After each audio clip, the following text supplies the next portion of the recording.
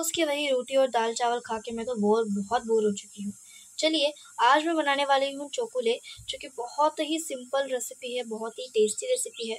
बिना किसी देरी के शुरू करते हैं आज का रेसिपी तो यहाँ पे देखिए दाल जो है, वो हमारी अच्छे से पक चुकी है।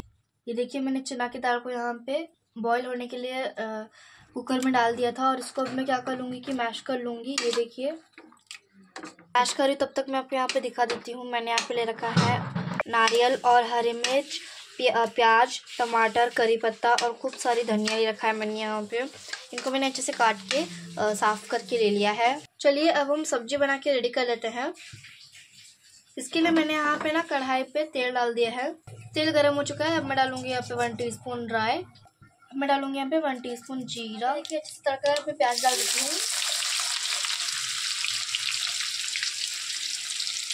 अब मैं यहाँ पे हरी मिर्च डाल देती हूँ। अब मैं यहाँ पे अदरक का पेस्ट डाल देती हूँ। अब मैं यहाँ पे लहसुन का पेस्ट डाल देती हूँ। कड़ी पत्ता डाल देंगे। इन्हें अच्छे से मिक्स करके ले लेंगे। अब मैं यहाँ पे इसके अंदर नारियल डाल देती हूँ। अब मैं यहाँ पे इसके अंदर हिंग डाल देती हूँ। अच्छे से फ्राई हो रहे हैं। अब मैं यहाँ पे इनमें टमाटर डाल देती हूँ। मिक्स कर लेंगे। अब मैं यहाँ पे डाल रही हूँ शंकरा नमक। नॉर्मल नमक भी चलेगा। अब मैं इसको यहाँ पे मिक्स करके ले लेती हूँ, नमक स्वाद के अनुसार ही डालूँ। अब मैं यहाँ पे इन्हें थोड़ी देर के लिए ढक के पका लेती हूँ। यहाँ पे देखिए, मैंने इसको 10 मिनट के लिए ऐसे ढक के इसको मैंने कुक कर लिया था। तो आप देख सकते हैं, जो मसाले हैं वो अच्छे से हमारे तेल छोड़ रहे हैं। अब मैं यहाँ पे डाल देती हूँ वन टीस्पून हल्दी। अब मैं यहाँ पे वन टीस्पून धनिया पाउडर डाल देती हूँ। अब मैं यहाँ पे वन टीस्पून सब्ज़ी मसाला डाल देती हूँ। अब मैं डाल देती हूँ यहाँ पे लाल मिर्च पाउडर अब मैं यहाँ पे इन्हें अच्छे से मिक्स करके ले लेती हूँ। अब मैं यहाँ पे चना की दाल डाल देती हूँ, जो मैंने उबाल के ले ली थी।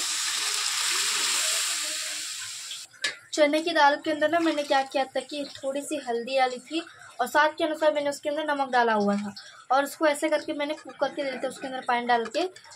तो अभी मैं इसमें थोड़ा सा ना नमक का यूज़ थोड़ा सा कम ही करूँगी क्योंकि मैंने दाल के अंदर भी नमक का यूज़ किया हुआ है। थोड़ा सा एक्स्ट्रा मैं इसमें पानी डाल दूँगी। स्वाद के अनुसार मैं डाल दूँगी इसके अंदर नमक। ध्यान रखिए कि नमक मैं यहाँ पे थोड़ा सा यूज़ कर रही हूँ, ज़्यादा यूज़ नहीं कर रही हूँ क्योंकि पहले से ही मैंने जब मैं बॉईल करती थी चने की दाल को, तभी मैंने उसके अंदर नमक डाल दिया। अब मैं डाल दूँगी यहाँ पे। अब मैं यहाँ पे धनिया के पत्ते डाल दूँगी फ्रेश फ्रेश अब मैं यहाँ पे साइड में इसको पकने के लिए रख देती हूँ। अब यहाँ पे देखिए ना, मैंने यहाँ पे आटा पहले से ही गूंद के रख दिया था। मैं इसको कुछ इस तरीके से थोड़ी सी मोटी रोही में तोड़ के ले लेती हूँ। ये देखिए। अब मैं यहाँ पे इसे अच्छे से बेल के ले लेती हूँ। नॉर्मल रोटी जितना ही बेल के लेना है साइज़ भी उतना ही रखना है, ज़्यादा पतला या मोटा नहीं करना है। यहाँ पे देखिए, सांभर जो है ना, वो हमारा अच्छे से पक रहा है।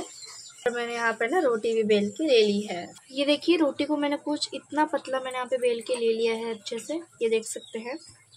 ये देखिए, मैं आपको दिखा रही हूँ कि यहाँ पे इन्हें कैसे काट रही हूँ मैं यहाँ पे, आप देख सकते हैं। और ये देखिए, आप चाहे तो यहाँ पे एक चाकू का भी यूज़ कर सकते हैं। अब यहाँ पे देखिए, मैंने कुछ इस तरह से उल्टे से काट लूँगी यहाँ पे। ये देखिए। काफ़ी अच्छी तरीके से यहाँ पे कट रहा है, आप देख सकते हैं यहाँ पे। अब यहाँ पे जो हमारी सब्ज़ी पक रही है ना, मैं इसमें इसको डाल देती हूँ।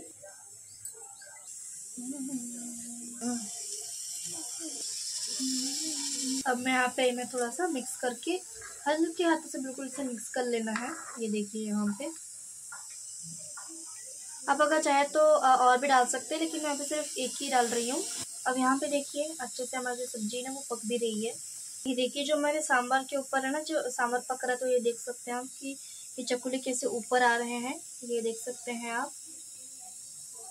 अब मैं यहाँ पे थोड़ा सा फ्रेश धन डाल देती हूँ और इसको अब मैं कुक होने के लिए रख देती हूँ साइड में, कम से कम पाँच से दस मिनट के लिए। यहाँ पे देखिए सांबर हमारा अच्छे से पक के रेडी हो चुका है। हाँ। आप इसका यहाँ पे टेक्सचर भी देख सकते हैं। बहुत ही ज़्यादा टेस्टी आया है। बहुत ही ज़्यादा सिंपल मैंने इसको बनाने की कोशिश की है।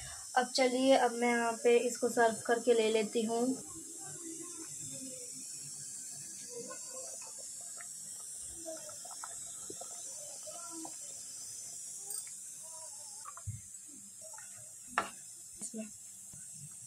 आते कुटर? आई होप फ्रेंड्स आपको ये रेसिपी बहुत अच्छी लगी होगी। अगर आपको ये रेसिपी थोड़ी सी भी अच्छी लगी तो वीडियो को लाइक कर दीजिएगा फ्रेंड्स और मेरे चैनल को सब्सक्राइब करके ले लीजिएगा। चलिए हम मिलते हैं ऐसी न्यू रेसिपी के साथ में। तब तक के लिए खाते रहे और मस्त रहे थैंक्स फॉर वॉचिंग बाय